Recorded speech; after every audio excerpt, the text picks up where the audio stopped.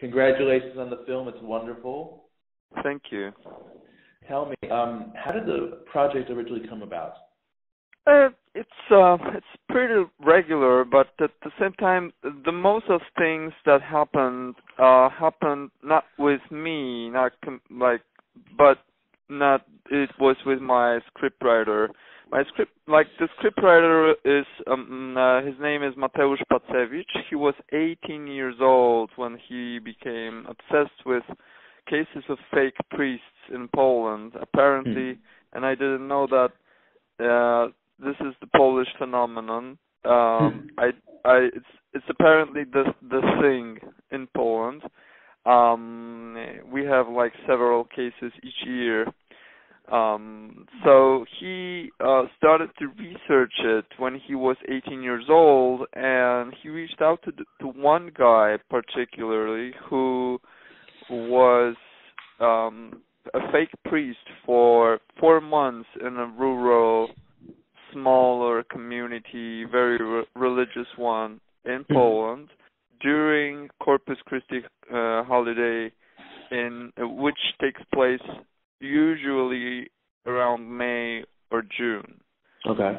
So so he wrote an article about it, and he was approached by uh, another producer, uh, Krzysztof Rak, pretty renowned one, who mm. who uh, read the the article and he wanted to acquire rights uh, to, to make make a film mm. out of the article. And and and Mateusz said, know, let me let me write it myself. Hmm. Uh, with your with your supervision, and the two worked on the on on it on the project for a few years, and then Krzysztof I know I knew Krzysztof from from before, so he sent me uh, the first draft, mm-hmm. and he wanted to hear my thoughts. So I gave them my notes. I I was so excited about the script that I gave them like usually when I'm excited, I write an extent very very like extensive, thorough email uh, detailing, you know, all the means and what I what I would see here and there. So I wrote them this long, long email, and afterwards they went silent. So I thought, oh my god, this that's it. They're gonna probably move to another director who's much who's probably much more I don't know eligible, who would go by the book and just make this film and after three months, they've sent me the revised version of the script, which was great. And I mm-hmm. really wanted, I, and not only I saw the film, my film in it, but I also wanted to m- meet the guy who wrote it, and that's how I met Mateusz, with whom I've already made the second film as well. Okay. Uh, so. So this is definitely this is based on a true story, or loosely based on a true story loosely based um it's inspired by and mm-hmm. we can say it's based because we've added and i've asked uh, the scriptwriter to enrich and and spotlight especially uh the uh the uh accident case mm-hmm. which which is the core second act um event and situation around which the whole thing circle cir- circulates, and uh, the juvenile detention center part, which is also added. And I just, you know, I said to, I I told them to just make it bigger and much more significant.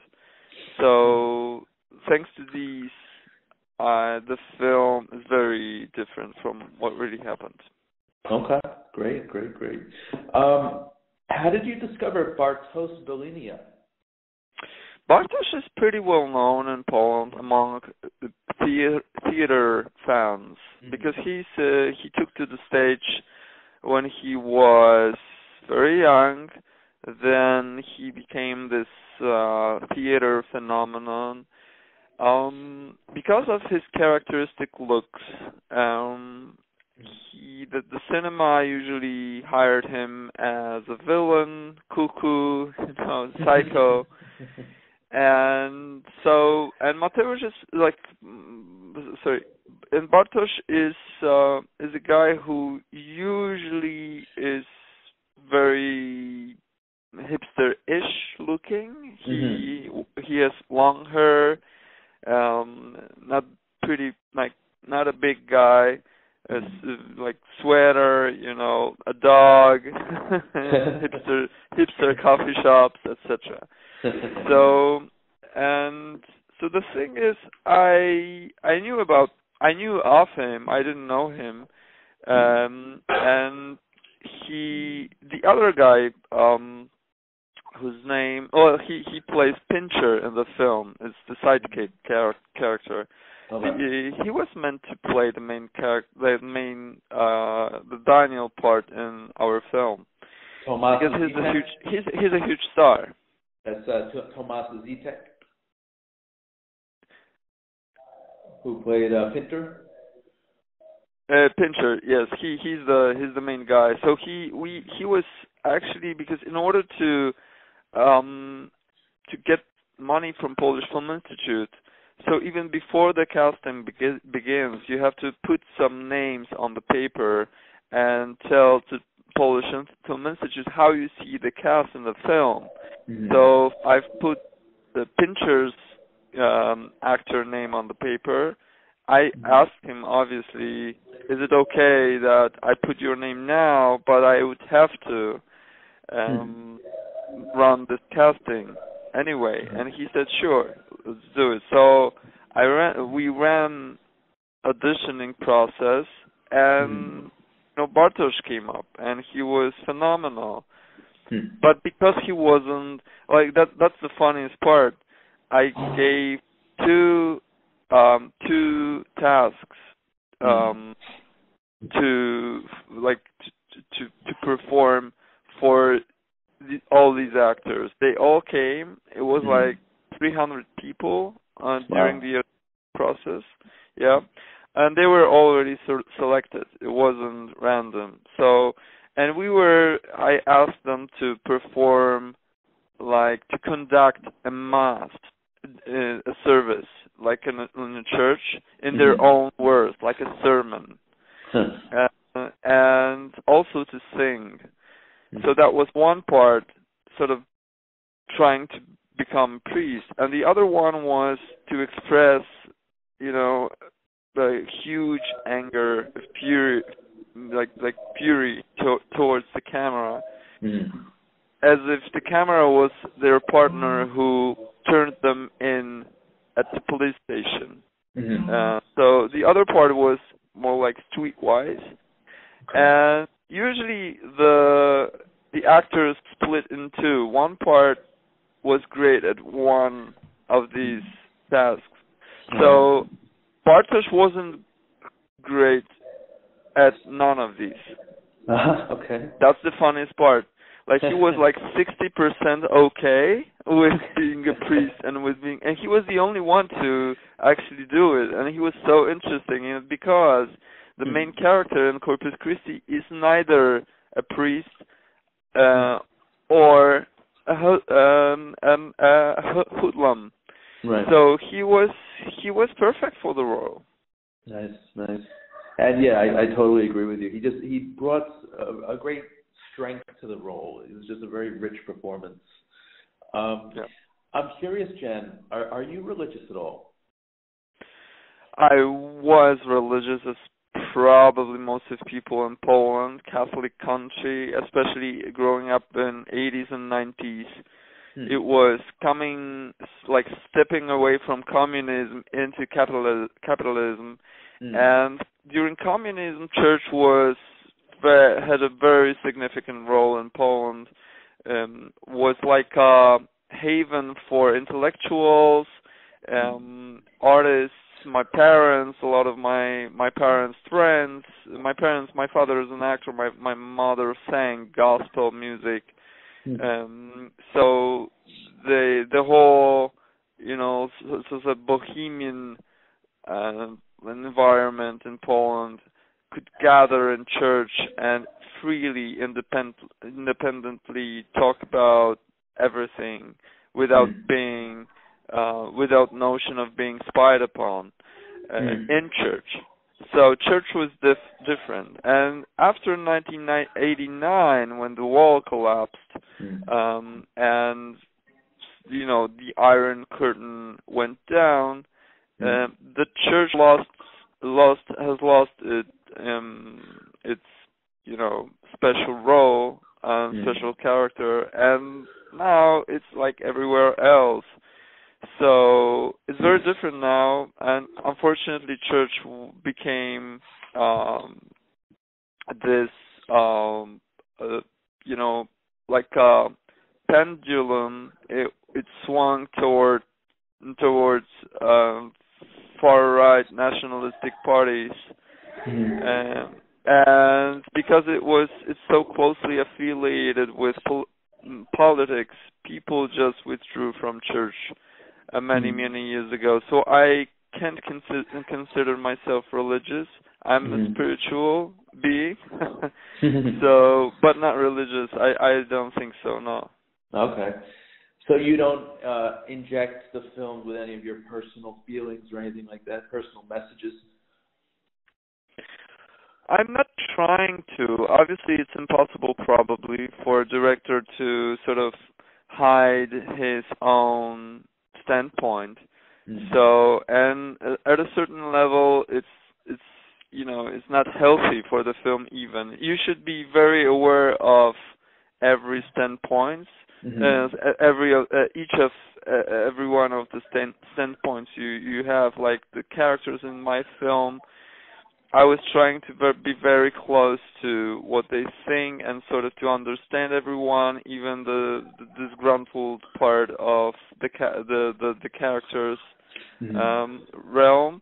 So everyone everyone's needs and motivations are pretty I think um uh, clear Mhm. and understandable. But uh, I was trying to be sort of transparent with my beliefs. Mhm. Uh, but the only like so so my only um like pro as a director my only standpoint there is if there is one in the film is the one that uh, the society in order to to get together has to sort of face its own wrongdoings and in doing so sometimes it needs a therapist Hmm. uh, I like that. and yeah as we all do sometimes it might be a friend it might be a friend a close person a therapist whoever Mhm. but uh, but we have to face what we've what we've what we've done done wrong in the past Right. and or you know confront our what's what's hurtful for us Mhm. uh as well so so that's like i think that's the core part of the film Okay, terrific, terrific. And you shot this, I believe, in the Polish countryside. yes it's um it's like this we call it the bible belt of poland Hmm. it's the southeastern part of poland actually where my my father was mm, born not far from the actual place we've shot in Hmm. So um so this is this is the part like we've moved the the, the original story um set set uh the place of the original story was closer to Warsaw, which is the central part of Mhm. Poland. We've Mhm. moved to the Bible Belt, which is southeast. Uh, very conservative, very rel- religious, com- uh, smaller communities scattered around mountains. Hmm. So we went there. Uh, we were shooting in very picturesque um, village, and you know, catching, capturing surroundings as well. And this, uh, this people from the village were were pretty suspicious because we came from this very like very reli- like very non-religious um, big city Right. le- left this liberal bubble. Right. So they kept asking uh, um, me questions about my mo- motivation, wh- who's like if the film is inspired by a true story and where did the story happen. I even, you know, at the beginning of the of the process of of you know finding the location, I've organized a meeting with the local social club run Hmm. by like these powerful women from the village Okay. uh, um, knowing that probably the social club, this woman, are uh, actually they are the one wielding power. Mm. so in the village, not the mayor or the the local priest. And so and they were interrogating me for two hours, being very nice and welcoming, but at the same time very precise Mm. on what the story was about, etc. So then I, when the meeting was finished, I went on and and had some other meeting with uh, with a woman who who was leading this cultural cen- center in the region, Mhm. and I told her that I had the meeting with this woman, and she said, "Oh, I know them." And what did they tell? What what what did they tell you? And I told her like I was being interrogating, especially about this fake priest. And I told her that one of their comments was, "It's impossible that this priest wasn't checked upon for Mhm. three months." and it's just impossible. It's just like usually, you know, nobody would get fooled for three months by the by a fake priest. And Right. this woman said, "Well, you know, you should know that they were asking you these questions because we had a fake priest for two years here."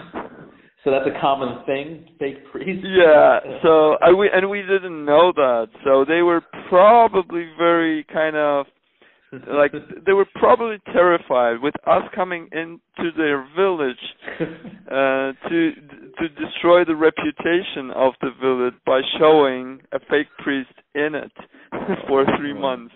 wow, that is So, yeah. bizarre. that's crazy. Yeah, it is. It is. Oh my they were God. protecting the reputation. Okay, good, good, good. Um, so Jan, how how can people see this wonderful film? Um, the reactions were pretty, uh, you know, enthusiastic in Poland. We Mhm. till this day it's, the, it's four weeks after since the opening, so Mm. we are happy to, you know, to to to to learn. Yesterday we were we, we learned that it it's 1.3 million admissions domestically. Nice. So it's a huge number as for this small, you know, intimate film. It's not a huge, it's not a blockbuster. It's not a genre film. Mhm. It's uh it's a it's a more festival art house. Mhm. You know, we were lucky to be selected by the Oscar committee domestically. Oh, wow. That'd be amazing. So so it's great. But 1.3 million, it just doesn't happen. It's Mhm. you know it's amazing. So we're still like we're still overwhelmed by it by it and Mhm. uh, you know enthusiastic and on the far far far my own right and Mhm. orthodox very among orthodox people fundamentalists this Mhm. film is offending like it's offensive um Mhm. they they they feel this film is too playful with profane Okay. and you know mixing sac- sacred and profane so Mhm. they are not so easy with the film but most of people especially moderate um Yeah. re- moderately religious people are like yeah this is the thing like this is what all we, what we all feel about church today like the church Right. became so political actually my uh, uh, a few days ago my friend wrote me that she was trying to get the ticket for the screening and she couldn't do it because the whole room was filled with nuns wow. Really? yeah Okay. so it was it was funny to envision yeah, that's funny. Uh, well, Jan, I want to thank you for your time today. Um, the film is just great. I think everyone should go see it. It, it, you know, it's powerful. It's moving. It's well acted. It's shot brilliantly. and um, just the visual style alone is amazing. So congratulations on a on a job well done. Thank you so much, Randy.